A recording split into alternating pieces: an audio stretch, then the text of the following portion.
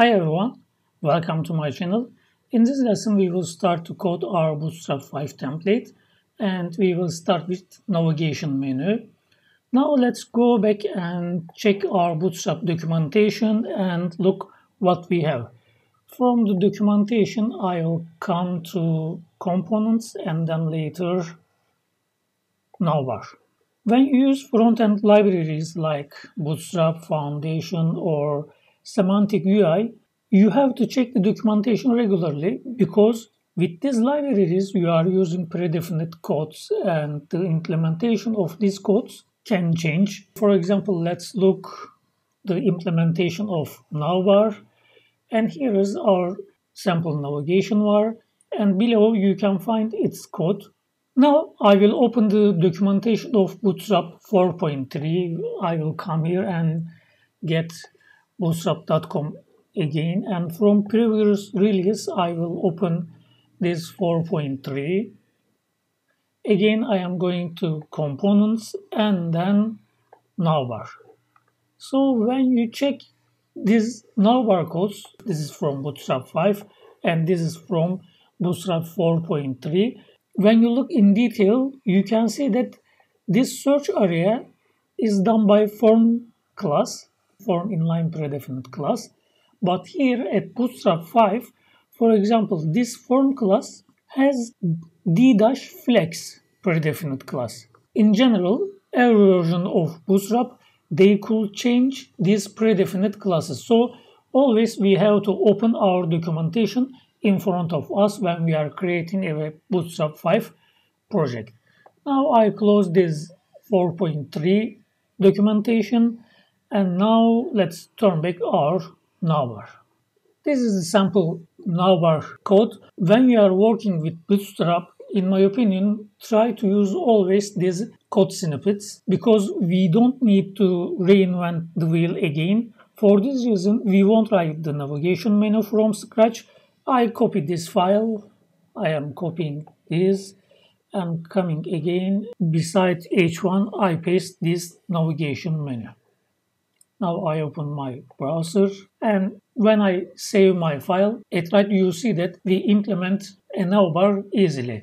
Now we will customize this navbar regarding our request. First, I will change this navbar expand LG class to navbar expand LMD because with navbar expand LG class, our navbar will stay collapsed at large screen. So I will change this from LG to MD. MD means medium here. We will speak large screen and medium screens in detail later. Now you can see the navbar open. Now I will come below and I don't need this form so I erase this form. Later I don't need this disabled li. I erase it. Be careful, don't erase this UL. Later, I will also erase this drop down. I don't need this drop down. And save the file. Now this is the updated version of our navbar. Now I will update a link five times more. I copied with Ctrl C and Ctrl V one, two, three, four, five times. Now I will update this link with my values. The second link will be about.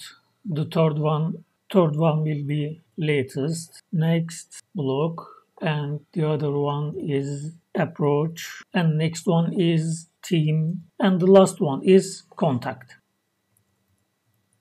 and I save the file and this is our navigation menu I also change home this will be capital letters also. Boom.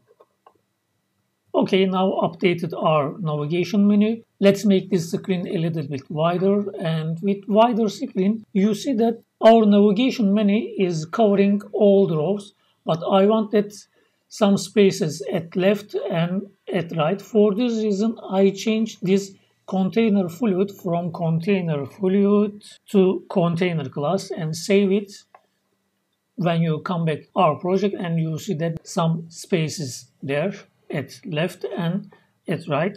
In our navigation menu, you see that there is no space between navbar and this navigation menu, but I want that this navigation menu stay at right. So I will come to my project and this is MA auto class. This is the abbreviation of margin and auto.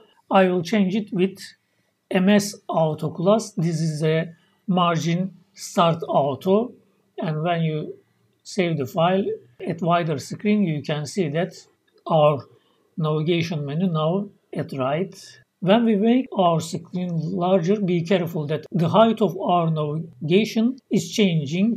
I am making a little bit larger and you see that here, here in this breakpoint, the height is changing because of this MB2 and MBLG0. I erased these classes, save the file. Now the height of our navigation menu is stable but I want to add a little bit padding here. I will come to nav class and I add this uh, py3 and save the file. Now the height of our navigation menu is higher. More or less we finished the markup of our navigation menu but I will change this from navbar to Elisoft. Also, I want to change the background color of this navigation menu. To change this background, I will use predefined utility classes. Let's go back to our documentation again. From utilities, from utilities, you can see that colors. And here you can find the predefined colors for Bootstrap text, BG primary, BG secondary. I will use this BG danger beside BG light. I copy this BG danger with Control C and I came here, I paste here BG danger, but of course without dot. Save the file and now you see that we have a nice reddish background and also I want that this text is a kind of white color. For this reason, I changed my navbar light class from navbar light to navbar dark. Save the file and now we finished our navigation menu. This is the end of today's lesson. We will continue in the next lesson.